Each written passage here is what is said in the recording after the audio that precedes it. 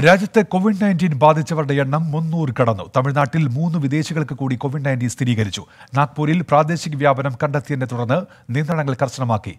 മാസ്കുകൾക്കും സാനിറ്റൈസറിനും കേന്ദ്ര സർക്കാർ വില നിശ്ചയിച്ചു. പശ്ചിമബംഗാളിൽ ഇന്ന് ഒരാൾക്ക് കൂടി കോവിഡ് സ്ഥിരീകരിച്ചു. ഇതോടെ കോവിഡ് ബാധിച്ചവരുടെ എണ്ണം നാലായി. രാജ്യത്ത് മുപ്പത്താറ് മണിക്കൂറുടെ നൂറിലധികം പേർക്കാണ് വൈറസ് ബാധ സ്ഥിരീകരിച്ചത്.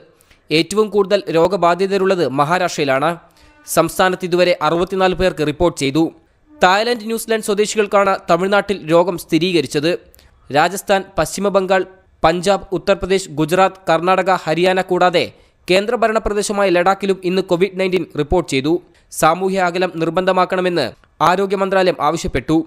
കനിക കപൂർ സംഘടിപ്പിച്ച വിരുന്നിൽ പങ്കെടുത്തിരുന്ന ദുഷ്യന്ത് സിംഗ് വസുന്ധരരാജ സിന്ധ്യ എന്നിവരുടെ പരിശോധന ഫലം നെഗറ്റീവാണ്.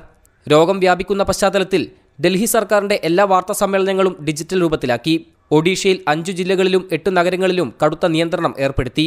പരിശോധനകൾക്കായി സ്വകാര്യ ലാബുകൾ ഉൾപ്പെടെ നൂറ്റി പതിനൊന്ന് ലാബുകൾ പ്രവർത്തിക്കും. കോവിഡ് ഭീതിയുടെ പശ്ചാത്തലത്തിൽ അയോധ്യയിലെ രാമനവമി ആഘോഷം ഉത്തർപ്രദേശ് സർക്കാർ റദ്ദാക്കി. മഹാരാഷ്ട്രയിലെ നാഗ്പൂരിൽ പ്രാദേശിക വ്യാപനം കണ്ടെത്തിയതിനെ തുടർന്ന് കരുതൽ നടപടികൾ ശക്തമാക്കി. ടു പ്ലൈ മാസ്കിന് എട്ട് രൂപയും ത്രീ പ്ലൈ മാസ്കിന് പത്ത് രൂപയുമായി കേന്ദ്ര സർക്കാർ വില നിശ്ചയിച്ചു. ഇരുന്നൂറ് മില്ലി ലിറ്റർ സാനിറ്റൈസറിന്റെ പരമാവധി വില നൂറ് രൂപയാക്കി നിശ്ചയിച്ചു. ട്വന്റി ഡൽഹി